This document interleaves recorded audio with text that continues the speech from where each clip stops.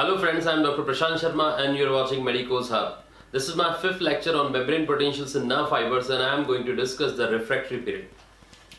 What is refractory period? It is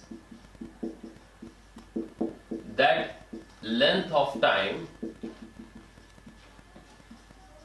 during which the membrane of neuron will not respond to second stimuli. Now, this refractory period is basically divided into two types or two phases that is absolute refractory period and relative refractory period. We'll compare them. What is absolute refractory period?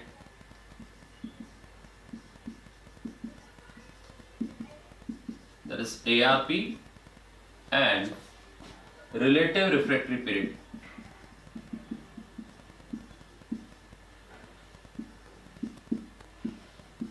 That is RRP.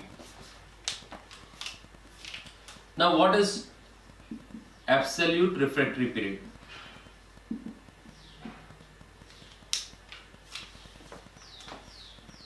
It is absolute refractory period is that time duration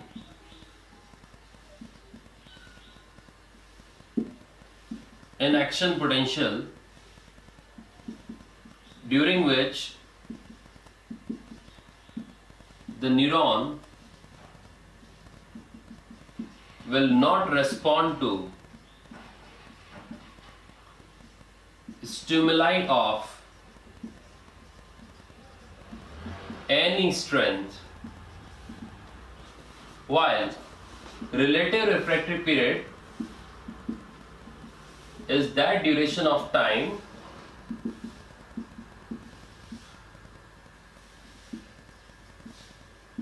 following ARP that is after ARP during which a suprathreshold stimulus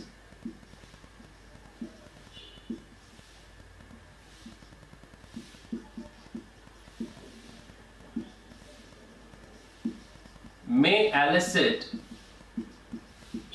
a response.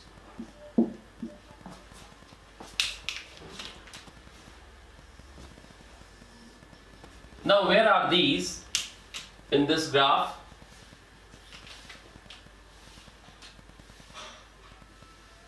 This is the regaining of or reaching the firing potential. Then depolarization then repolarization. When repolarization is one third completed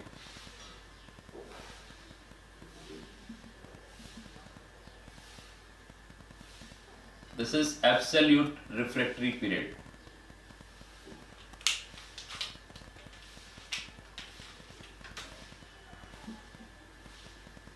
absolute refractory period so absolute refractory period is between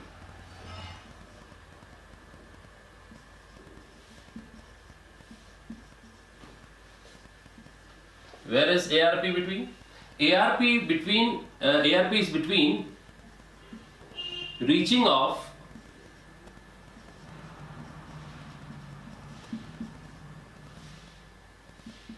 firing potential or threshold potential and one third completion of repolarization. While the relative refractory period starts with end of absolute refractory period that is one third completion of repolarization and the start of after depolarization.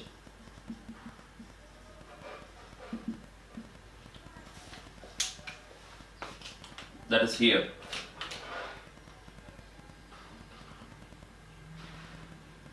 This is RRP. So reaching of firing level, depolarization, then one-third completion of repolarization. In between these two points there is absolute refractory period and the end of ARP and the start of after depolarization indicates the relative refractory period in the action potential. Now what is the mechanism behind?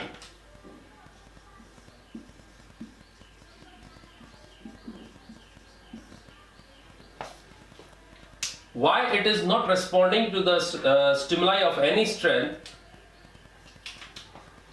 The mechanism is that the voltage gated